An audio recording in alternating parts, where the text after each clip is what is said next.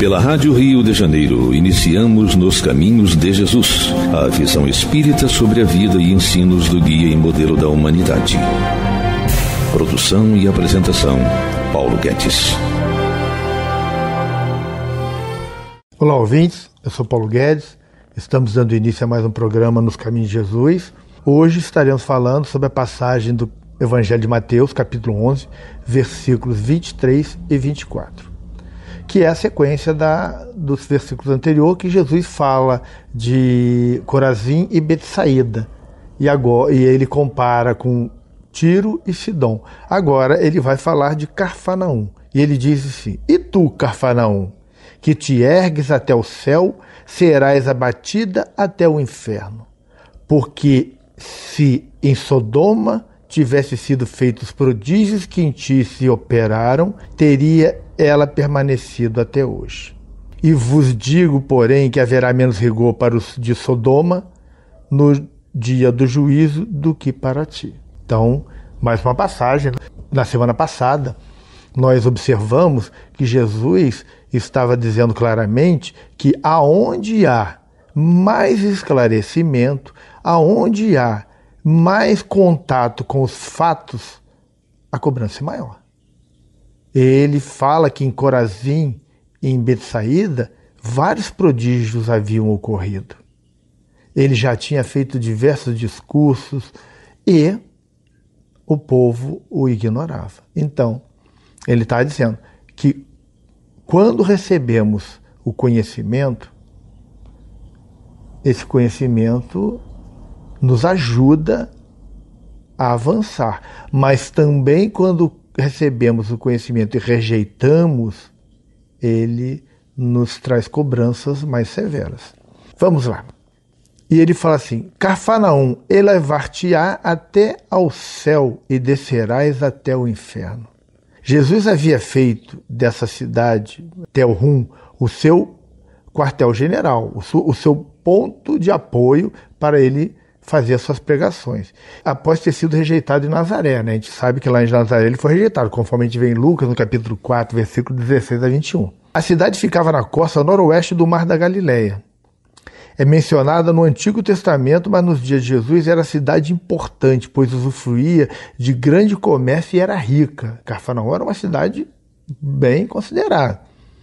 O fato de contar com um centurião, conforme a gente vê lá em Mateus, capítulo 8, versículo 5, e com uma coletoria de impostos, conforme a gente vê em é, Mateus, capítulo 9, versículo 9, né, o próprio Mateus Levi trabalhava na, na coleteria, provavelmente significa que era um, era um posto militar dos romanos. Era uma cidade que tinha um certo destaque, certa importância. Seu nome significa Vila de Naum e pode ser que esse nome se tenha derivado do profeta do mesmo nome no Antigo Testamento, Naum. Né? Talvez o moderno nome Um seja uma reminiscência do nome original, Tel, que, que significa cômodo. Então, Carfanaum era uma cidade grande, porque realmente tinha uma coletoria e tinha um centurião. Centurião significa é um, era um comandante de 100 soldados. Então, se haviam 100 soldados baseados em Cafarnaum, porque a cidade era grande e era uma cidade importante. Então, são fatos aí que a gente precisa estar analisando para entender tudo que Jesus vem falando, o, motivo dele fazer certas colocações. E aí tem a, a, a segunda, mais uma colocação: elevar-te-ás até ao céu. Trata de uma expressão proverbial da literatura judaica, que usualmente significa um estado de, gran de grandes riquezas, poder e fama. Olha só, Jesus está falando de uma cidade que tinha grande riqueza, tinha grande poder, não podemos esquecer dos, dos do centurião que estava lá, da coletoria, que, que tinha dinheiro, gente para pagar impostos, e fama porque era reconhecida. Outros intérpretes, porém, preferem a ideia de que essa exaltação fala do fato de Jesus ter ficado ali, sendo ele o Rei da Glória, sendo ele um homem importante que foi o Messias e ter se baseado nela, e ter ali operado muitos milagres. Pode ser também.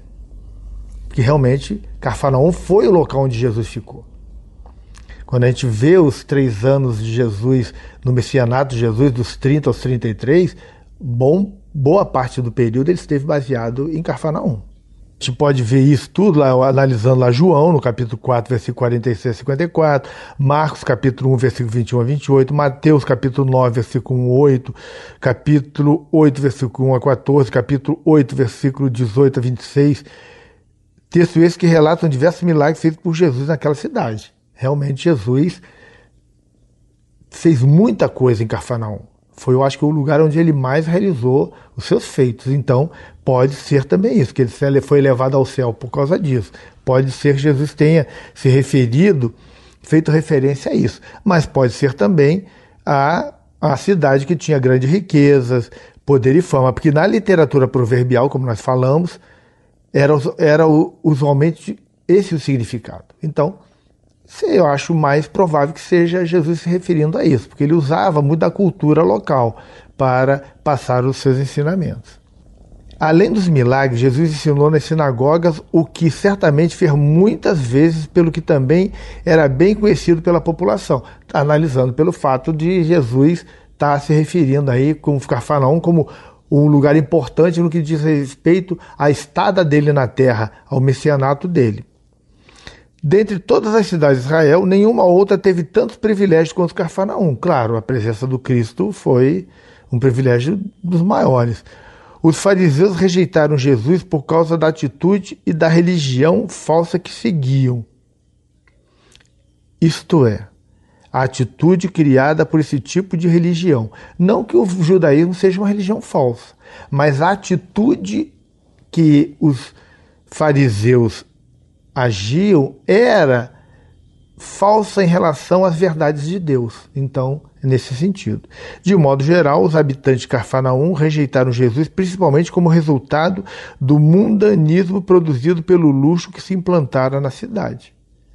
Cidade grande, como a gente vê aqui no, no nosso país, por exemplo, no Brasil, as cidades maiores, as capitais, são as cidades onde nós encontramos os maiores problemas com violência, com drogas, com prostituição. São as cidades que acabam sendo mais problemáticas por causa do mundanismo que acontece nelas. Né? Quanto menor a cidade, mais difícil disso acontecer. A probabilidade é menor, não que não aconteça, mas é menor. Então a gente fica olhando dessa forma para entender isso, né? E aí ele fala na sequência, ele disse elevará elevar-te até o céu e descerás até o inferno. Como tu és uma cidade famosa, rica, descerás até o inferno em consequência disso. Inferno não na visão teológica daquele lugar circunscrito, aonde o diabo impera e as pessoas são condenadas para não nesse sentido, mas de mergulho nas trevas da própria vida. Mergulhar nos umbrais da vida, nos lugares de sofrimento, porque as pessoas que agem de forma equivocada acabam recebendo como consequência provações muito difíceis. Então é isso que Jesus está se referindo. Outra expressão proverbial que significa redução a um estado muito vil, o mais baixo possível, que às vezes refere literalmente ao inferno, mas que também pode referir-se a um julgamento temporal. Olha só. A pessoa descer a um estado vil, um estado de animalidade, o mais baixo possível. Quando a gente vê nos livros de André Luiz, por exemplo, que a gente vê as estruturas que umbralinas, o sofrimento que existe lá, como a vida lá é muito difícil, podemos lembrar disso e fazer referência a isso. E aí ele fala do julgamento temporal das nossas atitudes. A cada período, a cada ciclo de reencarnação, a gente, ao se desligar do corpo, recebemos o julgamento da nossa consciência. É um fato. Isso é um fato, e a gente tem que estar atento a isso. Então, provavelmente Jesus aludiu aqui ao julgamento físico da cidade, conforme também advertiu a cidade de Jerusalém. Predição essa que se cumpriu em 70 depois de Cristo. Porque Jesus está falando, olha, essas cidades acabam sendo condenadas por si mesmo, porque atraem para si tudo de ruim. E naquela época, o atrair para si tudo de ruim muitas vezes atraía a ira romana, de invasores, e aí as cidades eram destruídas, literalmente. Não que não aconteça hoje. Quando a gente olha, por exemplo, o Oriente Médio, para todas as cidades lá que estão sendo bombardeadas, destruídas, que estão todas em ruínas, a gente se lembra dessas coisas, né?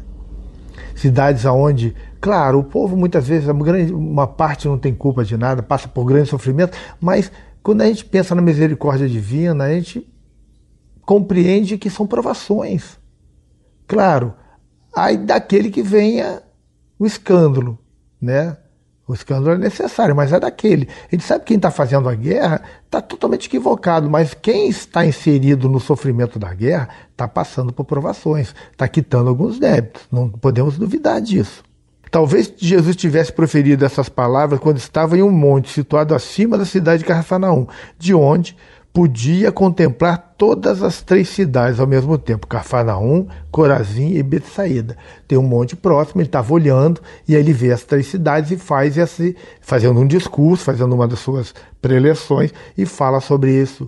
Olha para essas cidades com o coração partido, é claro, e diz: "Ai de vós". Ele fala: "Ai Corazim, ai Betsaída, ai Jerusalém, que estão recebendo tantas dádivas e estão jogando as dádivas no lixo. Quanto sofrimento há de vir disso tudo? Poderia ter sido evitado. O que ele fala é isso. É um tipo de lamentação. Todos nós estamos recebendo, por exemplo, na doutrina espírita, o cristianismo redivivo. Quantas mensagens recebemos, quantos ensinamentos os espíritos têm nos trazido, Emmanuel, André Luiz, Joana de Anjos, Manuel Filomeno de Miranda, tantos outros, Meimei, Bezerra de Menezes e tantos mais, e a gente, dentro da doutrina espírita, não cumpre os ensinamentos, não aproveita desses ensinamentos, e aí vamos nos questionando: a cidadela das nossas vidas poderá ficar em ruínas no futuro. Poderemos vir a sofrer grandes consequências porque estamos, de alguma forma, rejeitando os ensinamentos. Vamos fazer um pequeno intervalo e já retornamos com o programa Nos Caminhos de Jesus. Até já. Estamos apresentando Nos Caminhos de Jesus, a vida e ensinos do guia e modelo da humanidade. Apresentação: Paulo Guedes. Estamos de volta. Hoje estamos falando sobre a passagem contida no Evangelho de Mateus, capítulo 11, versículos 23 e 24, que diz o seguinte: E tu, Cafarnaum, que te ergues até os céus, serás abatida até o inferno. Porque se em Sodoma tivesse sido feitos prodígios que em ti se operaram, teria ela permanecido até hoje. Eu vos digo, porém, que haverá menos rigor para os de Sodoma no dia do juízo do que para ti. Jesus cobrando de Cafarnaum uma postura diferente, fazendo um tipo de lamentação, porque Jesus estava vislumbrando tanto sofrimento que viria para Betsaída, para Corazim, para Cafarnaum. Não é fácil. Não há que duvidar de que ele tinha conhecimento prévio dos fatos e por isso previu a destruição não só de Jerusalém também, né, mas também de diversas outras cidades. Lembra que na semana passada eu falei que Corazim encontraram ruínas em 1892? Porque foram destruídas, deixaram de existir. A história, gente, mostra o cumprimento dessas profecias e hoje os arqueólogos têm descoberto poucas provas da existência da maior parte das cidades da Galileia ao tempo de Jesus. Muitas foram totalmente destruídas mesmo. A arqueologia hoje vem provando que muitas vezes as pessoas dizem que essas cidades não existiram, que isso tudo é um conto, mas cada vez que a arqueologia descobre um desses lugares, a veracidade, a credibilidade das histórias que encontramos no Evangelho vão se reforçando. Os romanos destruíram tão completamente as sinagogas em Israel que não há certeza de que qualquer das ruínas encontradas pertença a alguma delas. Porque eles se revoltaram na época contra os judeus, por causa das rebeliões judaicas, e destruíram de tal maneira as sinagogas que não ficou pedra sobre pedra. E aí não se tem hoje uma certeza absoluta daqueles cômodos que são encontrados se aquilo ali era uma sinagoga ou não. Algumas até já foram identificadas, mas na grande maioria das cidades não. As ruínas de sinagogas que existem e que são numerosas datam do segundo século depois de Cristo em diante e não do tempo de Jesus. Temos hoje, claro, nas escavações, várias ruínas de sinagogas, mas do século II. Das do tempo de Jesus não se encontra quase nenhuma ruína, porque foram totalmente destruídas. Coisas que nos levam a pensar sobre essa visão de Jesus dos fatos que ocorreriam. Não é verdade? Jesus observava e conseguia vislumbrar fatos que iriam ocorrer. Para alguns de nós pode parecer uma coisa meio fora do padrão, fora do normal. Mas Jesus era fora do padrão, era fora do normal. Ele tinha, devido ao seu grau de pureza, uma visão muito mais ampliada do que qualquer um de nós. E tinha acesso a informações que nós não temos. E Jesus continua, sim, Sodoma. Aqui Jesus fala da cidade tal qual Gomorra, que era outra cidade, servia para os judeus de símbolo de lugar mais pecaminoso de qualquer outro. Essas duas cidades eram consideradas piores cidades que existiram, as mais pecaminosas que existiram. Por isso os judeus pensavam que Sodoma era mais digna do juízo divino que qualquer outro lugar. Elas iam passar pelo juízo, iam sofrer. E aí Jesus usa elas, ela como referência para falar de Cafarnaum, dizendo que ela teria menos rigor no juízo do que Cafarnaum. Sodoma era símbolo dos lugares que Deus julga, julga por causa de pecados vergonhosos e numerosos. O Velho Testamento está repleto de falando sobre isso. E de fato a história mostra que os vícios da humanidade, sem falta de um sequer, floresceram naquela cidade. Porque dizem conforme a gente vê no Velho Testamento, que todas as, todos os vícios morais existiam nessa cidade. Nenhum judeu de Israel poder, poria em dúvida o acerto do julgamento de Deus contra esse lugar. Era unânime de que esses lugares seriam condenados por Deus. As evidências arqueológicas mostram que por volta do ano 2000 a.C., uma catástrofe gigantesca destruiu todas aquelas cercanias e as duas cidades sumiram. Os cientistas pensam que esse acontecimento provavelmente inclui um grande terremoto que soltou depósitos de gases que subsequentemente explodiram. Virou pó, incineradas, destruídas por uma explosão. O Antigo Testamento e também o novo alude a julgamento de Deus por causa do pecado. Pode ver lá em Deuteronômio, capítulo 29, versículo 23, em Isaías, capítulo 1, versículo 9, Jeremias, capítulo 49, versículo 18, Amós, capítulo 4, versículo 1, Lucas, capítulo 17, versículo 29 e segunda carta de Pedro, capítulo 2, versículo 6. Vê em quantos lugares isso está citado. A ciência não tem explicação, eles fazem suposições que de repente houve um terremoto, soltou algum depósito de, de gás que existia no subsolo e aí surgiu uma grande explosão e essas cidades sumiram. No Velho Testamento a gente vê que houve uma grande explosão. Então, suposições científicas levam a acreditar que seja ter sido isso. E Sodoma também passou a ser símbolo do mais baixo pecado. Isaías capítulo 3, versículo 9 o julgamento que se abateu contra a cidade despopulou a localidade, que ficou sem habitantes por 600 anos. Foi dizimado o local.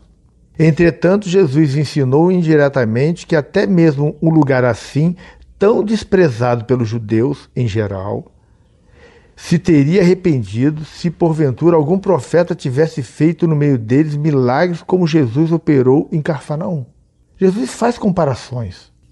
É realmente notável que os locais das cidades de Sodoma e Gomorra evidentemente sejam conhecidos hoje em dia, ao passo que as ruínas das três cidades, Carfanaum, Corazim e Betsaída, até hoje não tenham sido identificadas como certeza absoluta.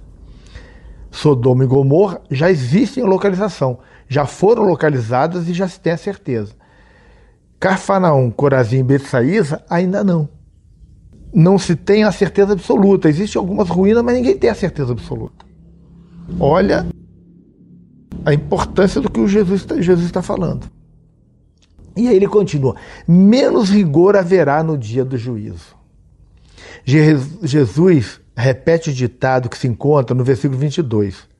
O julgamento não depende somente do número e da gravidade dos pecados, mas das oportunidades desfrutadas pelo pecador de conhecer a verdade e de ser esclarecido. Aquelas observações também se aplicam nesse caso. Lembra da semana passada, nós estudando? Então, nesse caso também. Ele está dizendo que terá menos juízo por causa disso. Porque receberam mais oportunidades. Porque tiveram mais informações. Jesus realizou feitos fabulosos no meio deles. Diante disso, a cobrança teria que ser, o rigor tem que ser maior. Não podemos duvidar de forma alguma. É o que eu falo e repito: nós espíritas temos muita responsabilidade com as nossas vidas. Precisamos ter o rigor para conosco, que estamos diante de fatos e verdades incontestes que os Espíritos têm nos trazido no decorrer desses últimos 150 anos, pelo menos, nos coloca numa condição bem delicada. Precisamos ter responsabilidade. Precisamos transformar essas informações em atos dos nossos dia a dia, mudando as nossas atitudes porque senão não será fácil. Dia do juízo. Aqui Jesus refere-se ao juízo futuro, ao julgamento das nossas consciências, ao julgamento temporal, ao fim de cada encarnação, porquanto somou Sodoma já receberam o julgamento temporal. Todos os moradores de Sodoma naquela época já receberam o julgamento temporal e arcaram com as consequências disso. Deus julga a terra com diferentes intensidades, e isso também fará no futuro, ao determinar os destinos dos homens de acordo com um justo julgamento, segundo as obras realizadas, como disse Jesus. Quando o nosso planeta passar a condição de expiação e provas para a condição de regeneração, de mundo regenerado, que houver o expurgo daqueles que são duros ainda, o julgamento será feito pra, em todos nós com intensidades diferentes, conforme o grau de, de, de, entendimento de cada um, conforme as informações recebidas por cada um, conforme o contexto vivido por cada um. Será assim. Tem que ser assim. É interessante, gente, notar que até mesmo alguns judeus reconheceram que Israel merecia julgamento mais severo que de Sodoma. A gente vê isso. Isso é destacado em Lamentações, no capítulo 4, versículo 6, que diz: Porque maior é a maldade da filha do meu povo do que o pecado de Sodoma, a qual se subverteu como num momento sem que trabalhasse nela mãos alguma. Tá. O próprio Judeus lá em Lamentações fala isso, porque as filhas do seu povo do judaísmo ia ter um julgamento muito mais rigoroso. A grande autoridade sobre os estudos hebraicos e a literatura dos hebreus, John Hill, menciona em seu comentário que diversos escritores judeus falaram nesses termos, reconhecendo que Israel merecia mais severo julgamento que o de Sodoma. E isso mostra que esses escritores sabiam de fato que quantos maiores são os privilégios, maiores são as responsabilidades. E quanto mais esses privilégios são desrespeitados, tanto mais severo será o julgamento de Deus. Israel sempre contava com algum profeta em seu meio.